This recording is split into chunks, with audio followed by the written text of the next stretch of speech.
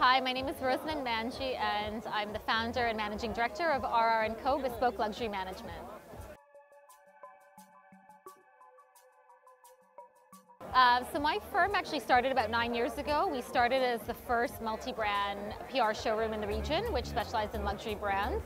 And over the years, we've evolved into more of a consultancy firm now, um, as well as brand ambassador roles for luxury brands throughout the Middle East. Um, and so we basically we get a lot of attention for the designers we host and bring to the region.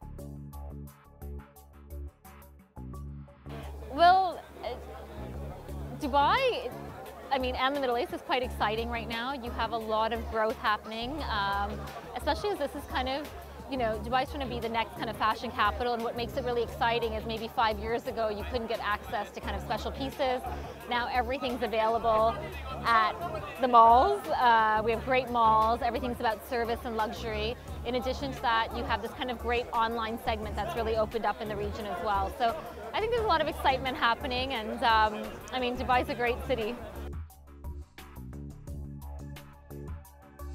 Yeah, I mean, you hear that there is ups and downs, but what makes Dubai quite special is this, um, you know, the growth of tourism. So it's really a central point for the best, you know, airlines that come through here, like Etihad and Emirates, that make it really easy for people to make it into a destination spot.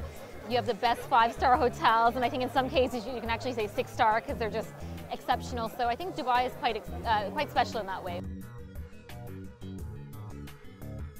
Yeah, there's a little bit of everyone for fashion. I think, um, you know, I just made a, uh, met a great girl tonight um, at this networking evening, and she does textile supplying. And I think, you know, people don't realize that the fashion industry is so vast, and there's so many roles, and there's so many kind of places um, to really grow a business. And I think if you can find your niche, um, especially in the Middle East, I think it's fantastic. And if you can bring something different to the region, then I think you're on the right track.